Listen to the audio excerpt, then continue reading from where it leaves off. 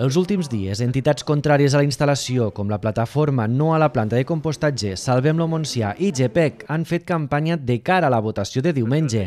Temen, entre altres, els efectes sobre els aqüífers i que l'empresa promotora impulse la generació d'energia elèctrica, tal com consta a la seva raó social. Tal com expliquen diverses informacions, esta empresa genera tal quantitat de residus que eliminant els residus aquests amb compostatge no és suficient. O sigui que fa falta algo més.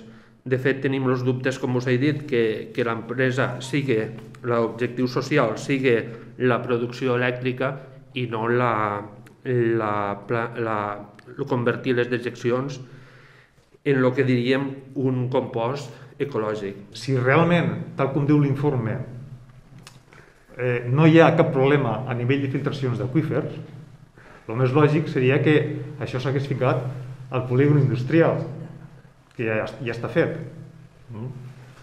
Seria qüestió de buscar aquestes 10 hectàrees.